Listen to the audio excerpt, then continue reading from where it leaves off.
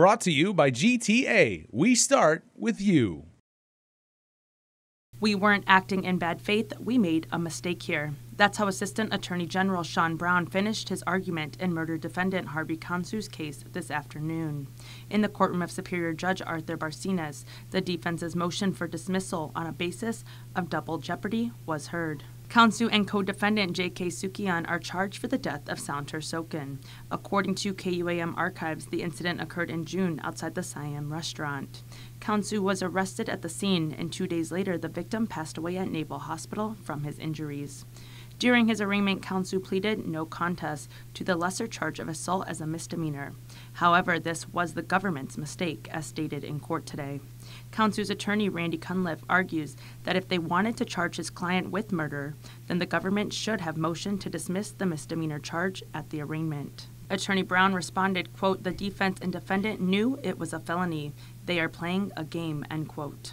I'm allowed to do it. How's that a trick? Mm-hmm. You know, I mean, it might have been smart. I might have been smarter than they were.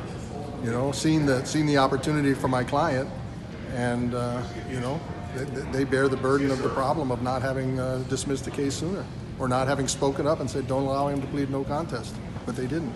Judge Barcinas asked Attorney Brown why they didn't dismiss this charge if they knew the indictment with the felony charge was going to be called on the same day in court.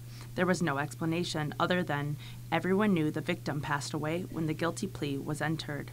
The government told the court they fear if this case is dismissed, then other defendants may use this as a strategic opportunity.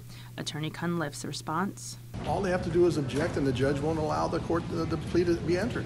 You know, they, object, say, We object, Your Honor, and, and the, ju- the, judge is going to say, I'm going to enter a not guilty plea. It's just a scare tactic. You know, it's just, you know.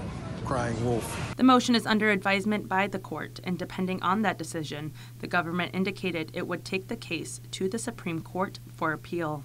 Reporting for Guam's News Network, I'm Adriana Cotero. Brought to you by GTA. We start with you.